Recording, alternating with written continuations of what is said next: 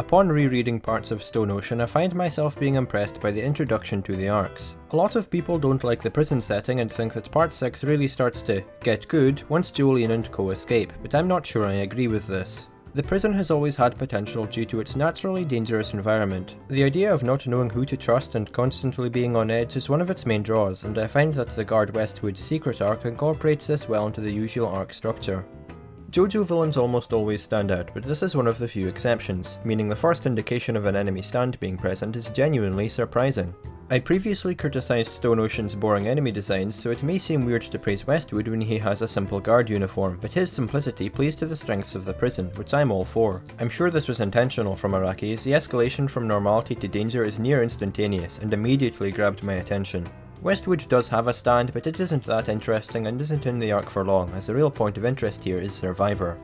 Enhancing someone's battle ability is a simple idea and would normally be quite boring in JoJo, but yet again, just like Vivian's unassuming design, this works well in Stone Ocean due to Jolyne's fighting style. One of the interesting things about Stone Free is the effect it has on the Joestar's body, allowing her to pull off feats that no normal person could.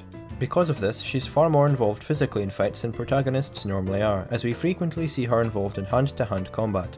With a stand like Survivor, this makes her the perfect protagonist to throw down, especially due to the type of damage her stand can inflict. Body horror is pushed to the absolute extreme, which is a far greater indication of a character's status than just covering them in blood, and this disgusting form of violence is really well suited to the unrelenting powers of Survivor. As powerful as Jolyne is, Westwood being a guard means he knows his way around a brawl with a fighting style based around immobilizing opponents, being perfect for his stand which can be pretty suspenseful during its brief appearance.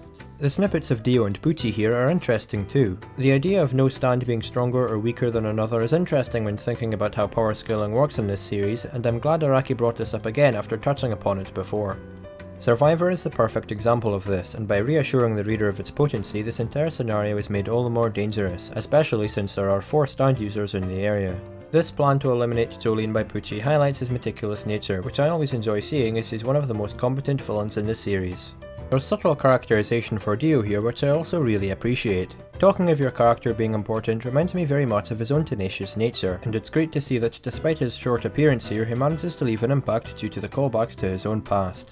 Building on the disgusting violence of Metallica, this arc pushes one of the staples of JoJo to the extreme while perfectly highlighting the determination of both protagonist and antagonist, which is something that I've grown to love the series for. Everything about this quite simple battle is done well, seeming natural and fitting of the characters and surrounding of the part, and this is the kind of fight Stone Ocean needed.